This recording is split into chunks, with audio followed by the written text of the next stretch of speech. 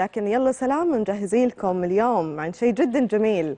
أكثر المدن الماطرة حول العالم في يلا سلام. خلونا نروح نشوف ونرجع لكم.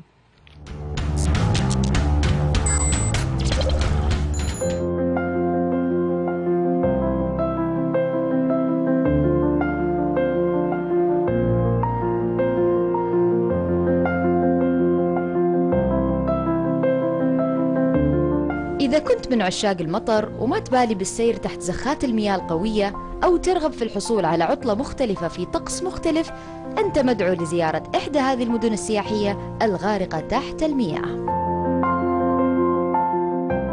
هيلو بهاواي.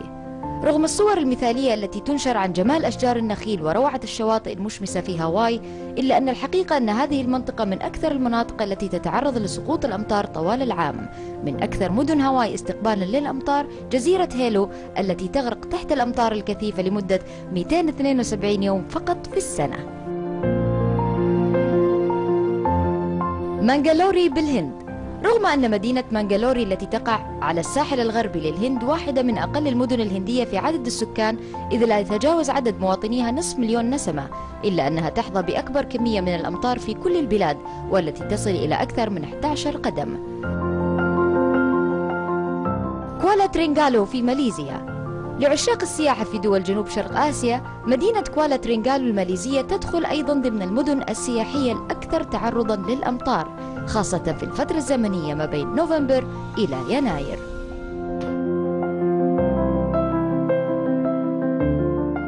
في مقولة تقول عندما ينتهي المطر ننسى المظلة ولكن لا ننسى صديق المطر.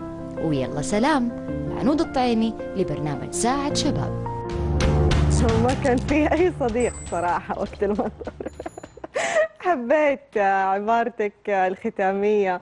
عنود يلا حاولوا خصوصا مع الأجواء الممطرة عندنا. يعني المفروض نحن نحط في التقرير أيضا المملكة صراحة بالأمطار الغزيرة اللي شهدناها في الأيام السابقة.